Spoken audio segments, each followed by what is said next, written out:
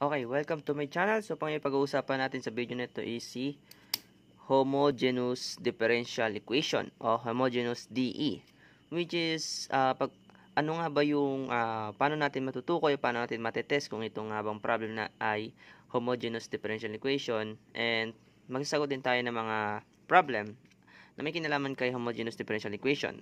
Okay? So, uh, sinasabi para malaman natin kung o matest natin kung ito nga bang problem na ito ay homogeneous differential equation is kailangan yung the function of x and y is homogeneous of degree n if the function is uh, zx comma zy is equal to z raised to n function of x and y. Okay, so kailangan nakaganitong form lang siya.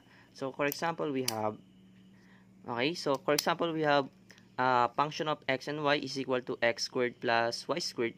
So, kailangan ma-form lang natin siya as this form para masabi natin siya na homogeneous differential equation. So, example is we have, meron tayong x squared uh, plus y squared. So, function of x and y. So, kunin natin si magiging z x. Then, naka-squared, di ba? So, isasamahan lang natin siya ng z. Ito. Then, plus z. Then, y. Then, naka-squared siya. Okay? So, kapag kinuha natin yung, kapag dinistribute natin yung power of, uh, second, yung power of squared, so magkakaroon tayo ng uh, z squared, tama? Then, uh, x squared plus z squared, y squared. Yes, this is correct. Okay? So, function of x and y, we have is equal to x, z squared, x squared, plus z squared, y, uh, y squared. So, kailangan makuha lang natin yung form na to. Okay, so paano natin uh, magagaya itong term na to di sa function na to? Okay, so kailangan lang natin uh, magkaroon tayo ng uh, z as squared or z raised to n. So, factor out natin. So, we have z squared. So, common factor, we have z squared here and then z squared here. So, matitira is x squared plus y squared. Okay? So, function of x function of x comma y is equal to z squared o yung z raised to n then x squared plus y squared then function of x and y. So yes this is a homogeneous differential equation. This problem is a homogeneous differential equation with degree of 2 okay?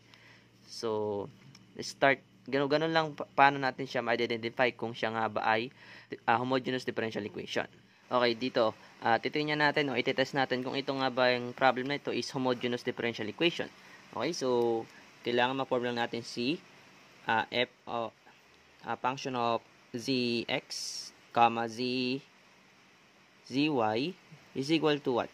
z raised to n, then function of uh, x and y. Okay, so kailangan ma-form lang natin siya dito. So, in this, uh, the technique is, kailangan lang tingnan natin yung kanyang degree o yung kanyang power, which is meron tayong cube and second. So, dito pa lang makikita na natin kung ito nga bang problem na ito is uh, homogeneous or not. Okay, so this problem is uh, basically hindi siya homogeneous differential equation kasi nga magkaiba yung kanyang degree kasi ito ay meron tayong uh, cube and squared. Okay, so kapag yan kinuha natin, kapag tinest natin yan, so magkakaroon tayo ng z x, then naki-cube, minus, what, z y, then naka-squared. Then, basically, magkakaroon tayo ng z, distributing the, the cube, z cube, x cube, minus, z squared, y squared. So, co common factor which is the z squared So, meron tayong z ulit dito, and then x, x cube. Then, uh, minus pala, sorry, minus y squared. So, as we can see, hindi natin nakuha yung ating form na ito kasi meron tayong z squared, yes, nakuha natin, pero meron tayong z bar ito. Okay, so dapat wala, yan, dapat x lang and y yung matitira kasi function of x and y. So, basically, hindi ito a homogeneous differential equation.